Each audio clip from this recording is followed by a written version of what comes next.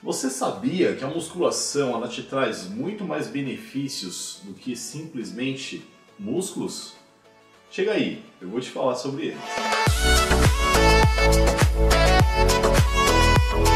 Salve, salve, senhoras e senhores! Ah, esse vídeo é bem legal e eu não vou falar somente que a musculação traz músculos, porque isso você já sabe. Isso você já está acostumado aqui a ver os vídeos do canal e geralmente eu trago exatamente esse tipo de conteúdo, como intensificar, como melhorar, como ter mais resultados com os treinos de musculação. Nesse vídeo agora eu vou falar o que você não vê normalmente por aí. O que a musculação te traz e você nem sabe. É, vamos lá. Basicamente é o seguinte, no seu corpo você já deve ter ouvido falar que você tem aí colesterol. E aí você tem o colesterol que é considerado bom, o colesterol que é considerado ruim, né?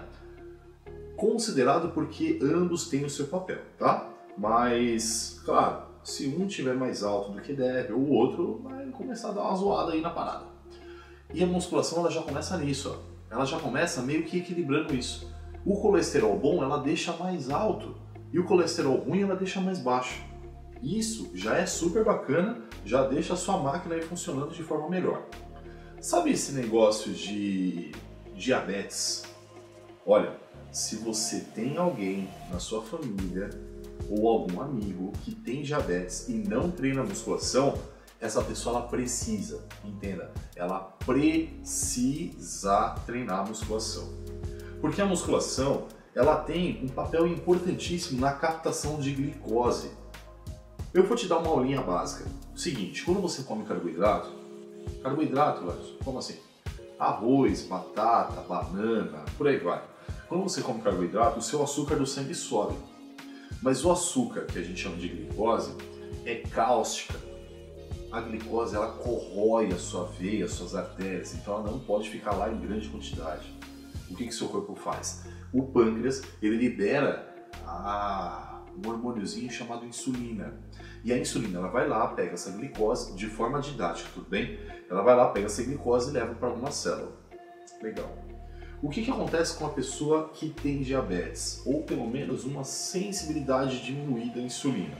Um pré-diabetes, por exemplo. Seguinte, ou a pessoa não libera insulina, ela não tem insulina, beleza? O pâncreas dela não libera insulina ou o pâncreas dela libera insulina, mas o corpo não reconhece aquela insulina. Ou então o corpo dela libera insulina, mas a insulina não consegue fazer o papel direito. Eu estou simplificando. E aí fica glicose na corrente sanguínea. E não vai glicose, que é energia, para células, sendo elas musculares ou entre outras. Então começa a dar pau no sistema. Tem gente que perde até perna por conta de diabetes. Tem gente que fica cego. Olha, o negócio é sério, gente. E aí a musculação é maravilhosa, né? Porque a musculação ela consegue fazer a captação da glicose sem a insulina. Ela melhora a sensibilidade à insulina da pessoa. Então é super, hiper importante. Essa é uma coisa que a gente que treina não tem problema com isso, nem percebe, né? Mas se você treina musculação, a sua sensibilidade à insulina é muito mais alta pelo fato de você treinar. E a alta sensibilidade à insulina também está fortemente relacionada com a facilidade de perder gordura. Opa! Dá aquela reduzida no bacon. É, a musculação te ajuda também nesse aspecto, somente pelo fato aí da sensibilidade à insulina. Bacana, fala a verdade. Mulheres, não que os homens não possam ter esse problema, mas geralmente as mulheres têm problema com ossos. Sabe essa ideia de osteoporose ou osteopenia, que é a osteoporose mais leve? Toda mulher, isso é uma regra fisiológica, toda mulher vai ter problema com isso se não cuidar.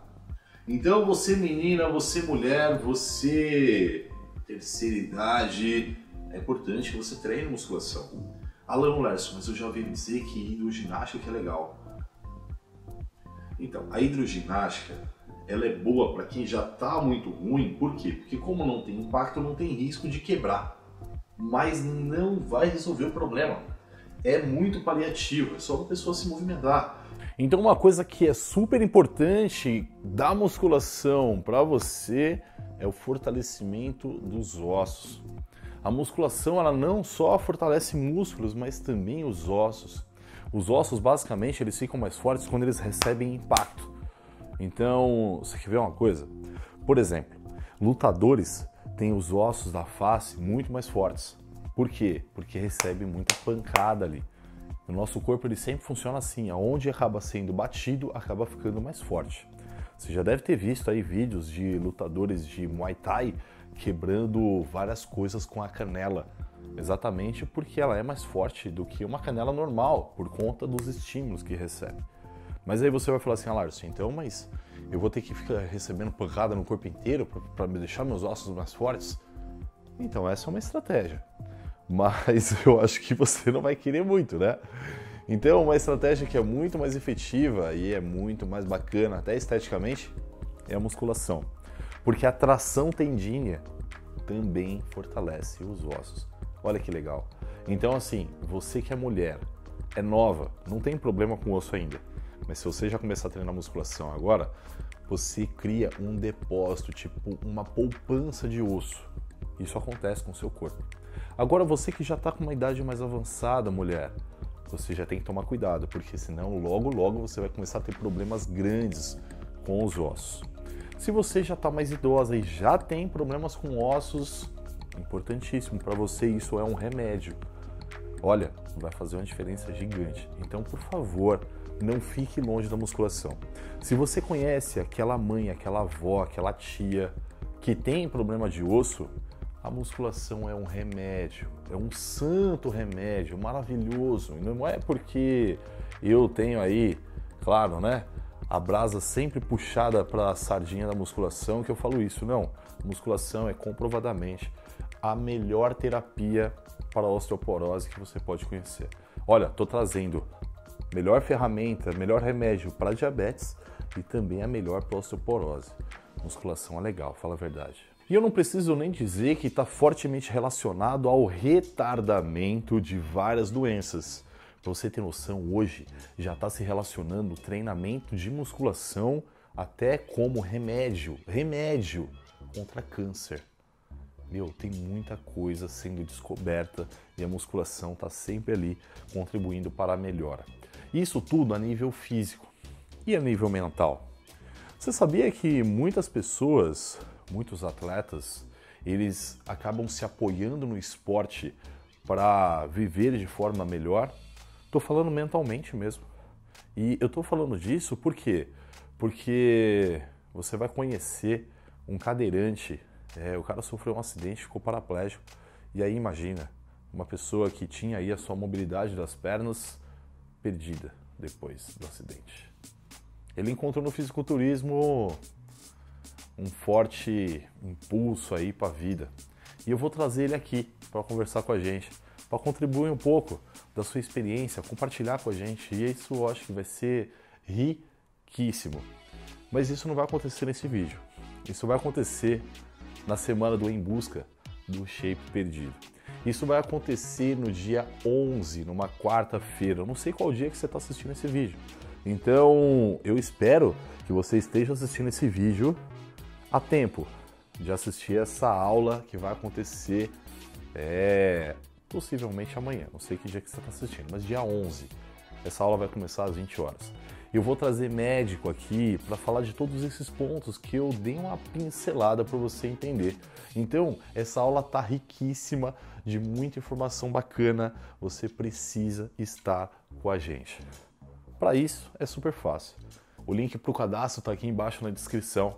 Você não vai pagar nada, é completamente grátis. Eu só quero que você venha para cá e se você tem uma avó, que seja um amigo, um tio, um pai, um avô, que, meu, que se beneficie do que eu falei agora. Osteoporose, diabetes, colesterol. Traz para essa aula, por favor, eu te peço, porque vai fazer um bem gigante para essa pessoa. Ela vai viver melhor e muitas pessoas com esses problemas, depois que começam a treinar, o médico que cuida vai tirando os remédios. É lindo de ver. Então, faz isso. Eu vou estar aqui com o médico, com esse atleta cadeirante para trazer todas essas informações bacanas para vocês. Por favor, aproveite isso da melhor forma, né? O link está aqui embaixo. Faz aí o cadastro que vai ser legal te receber.